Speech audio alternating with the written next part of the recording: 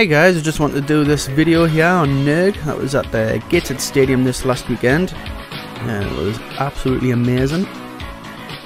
Just show you some footage that I got. There's a quick pan of the room there.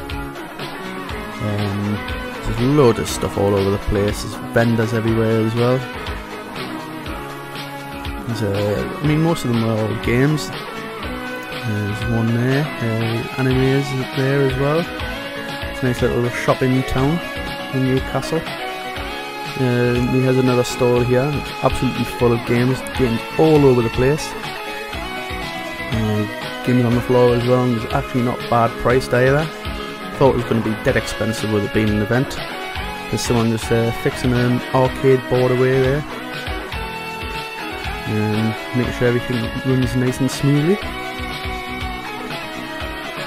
So there's other things on as well. There was um, tombola and a raffle, and there was this um, cosplay event here. Quite fun to watch. Wasn't sure on who uh, most of them were supposed to be, um, but that portal guy won there with the portal gun. There was also this as well, uh, Neo Geo X Gold up for grabs, just for attending the event. Um, unfortunately, I didn't win, which uh, is a shame. Would have loved to have one of those. And just walking around some of the arcade machines here is uh, Daytona USA. It's uh, quite fun to play on that. Some uh, games I've never even heard of. Um, Turtles in Time there, four player cab, that was fun to play. Rave Racer twin cab, had a blast on that, that was fun. On the other side, there's a Galaxian there.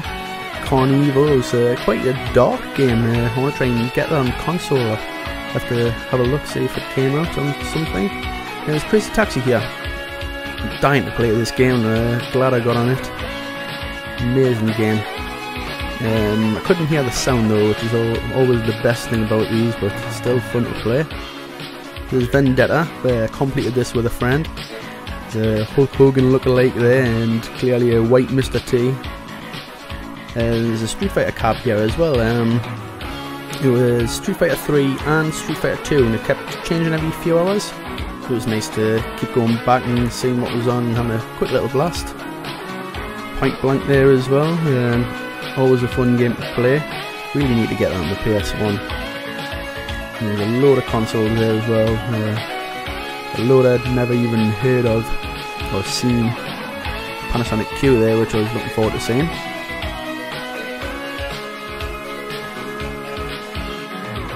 The Sharp X68000.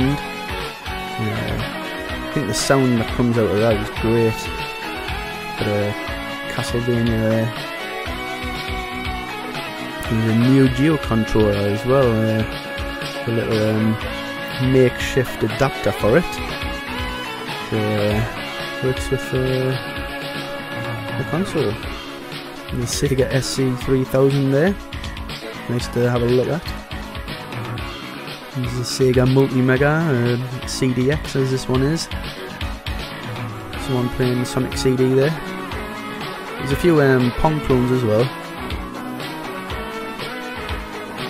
There's Tetris 64 there as well with the crazy peripheral that you clip to your ear measures your heart rate and changes the pace of the game.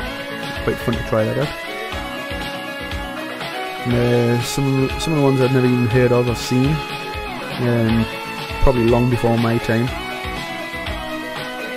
Gig Leonardo, never even heard of it. Me and my friend had a good laugh at this one. Dick Smith Wizard. There's a load of pinball machines as well. Didn't really get to play on a lot of them, but uh, play on uh, a few, like this uh, Street Fighter 2 here. It's quite fun to play.